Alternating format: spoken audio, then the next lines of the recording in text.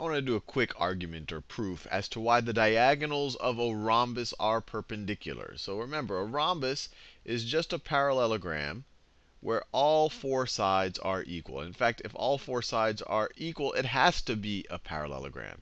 And just to make things clear, some rhombuses are squares, but not all of them, because you could have a rhombus like this that comes in where the angles aren't 90 degrees. But all squares are rhombuses, because all squares, they have 90 degree angles here. That's not what makes them a rhombus, but all of the sides are equal. So all squares are rhombuses, but not all rhombuses are squares. Now, with that said, let's think about the diagonals of a rhombus. And to think about that, a little bit clearer, I'm going to draw the di I'm going to draw the rhombus really is kind of I'm going to rotate a little bit so it looks a little bit like a diamond shape.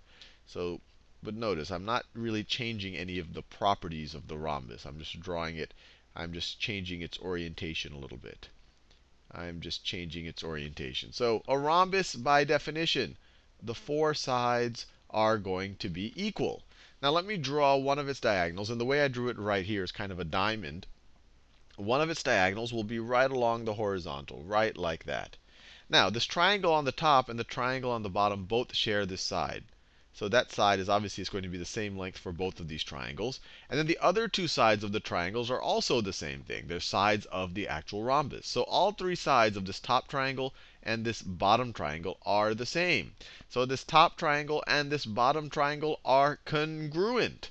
They are congruent triangles. If you go back to your, your ninth grade geometry, you'd use the side, side, side theorem to prove that. Three sides are, the, are congruent, then the triangles themselves are congruent. But that also means that all the angles in the triangle are congruent. So the angle that is opposite this side, this shared side right over here, over here, will be congruent to the same, the corresponding angle in the other triangle, the, side, the angle opposite this side.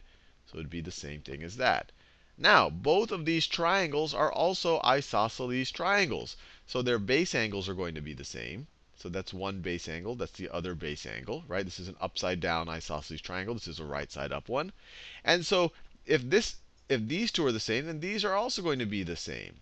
They're going to be the same to, to each other because this is an isosceles triangle. And they're also going to be the same as these other two characters down here because these are congruent triangles. Now, if we take an altitude, and actually, you know, I didn't actually didn't even have to talk about that since actually I don't think that'll be relevant when we actually want to prove what we want to prove. If we take an altitude from each of these vertices down to this side right over here. So an altitude by definition, an altitude by definition is going to be perpendicular down here. Now, an isosceles triangle is perfectly symmetrical. If you drop an altitude from the, I guess you could call it the top or the unique angle or the unique vertex in an isosceles triangle, you will split it into two symmetric right triangles, two right triangles that are essentially the mirror images each of each other. You will also bisect, you will also you will also bisect the opposite side. This altitude is in fact a median of the triangle. Now we can do it on the other side.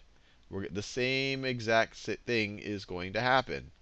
The same exact thing is going to happen. We are bisecting this side over here. This is a right angle. And so essentially the combination of these two altitudes is really just a diagonal of this rhombus. And it's at a right angle to the other diagonal of the rhombus. And it bisects that other diagonal of the rhombus. And we can make the exact same argument over here. You could think of an isosceles triangle. You could think of an isosceles triangle over here. This is an altitude of it. It splits it into two symmetric right triangles. It bisects the opposite side. It's essentially a median of that triangle, any isosceles triangle. Any isosceles triangle, if that side's equal to that side, if you drop an altitude, these two triangles are going to be symmetric, and you will have bisected you will have bisected the opposite side. So by the same argument, that side's equal to that side. So the two diagonals of any rhombus of two of any rhombus are perpendicular to each other, and they bisect each other. And they bisect each other. Anyway, hopefully you found that useful.